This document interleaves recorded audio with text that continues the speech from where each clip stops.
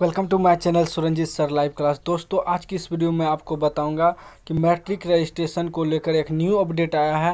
Video को last तक देखिए। अगर चैनल पर नए हैं तो चैनल को सब्सक्राइब कर लीजिए और घंटी को दबा कर कर लीजिए। देखिए, यहाँ लिखा है मैट्रिक रजिस्ट्रेशन दस हज़ार विद्यार्थियों का आवेदन में त्रुटियाँ। यानी कि दस हज़ार विद्यार्थी का रजिस्ट्रेशन जो है रद्द यहाँ देखिए साफ़ साफ़ लिखा है, जनता बालिका उच्च माध्यमिक विद्यालय मधुबनी में एक रजिस्ट्रेशन आवेदन में ना तो छात्र का नाम और ना ही माता पिता का नाम।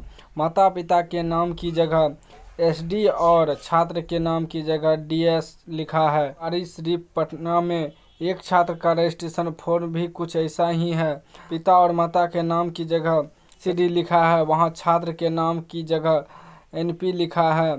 यह मामला कोई एक स्कूल या एक छात्र का नहीं बल्कि सैकड़ों स्कूलों में मैट्रिक रजिस्ट्रेशन 2022 से तेईस सत्र।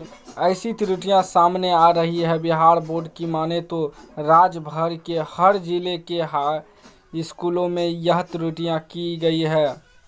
अब तक दस हज़ार से अधिक छात्रों के रजिस्ट्रेशन में त्रुटियाँ पकड़ में आई है। बोर्ड ने सभी जिला शिक्षा पदाधिकारी को पत्र लिखकर स्कूलवार छात्रों को आवेदन किया।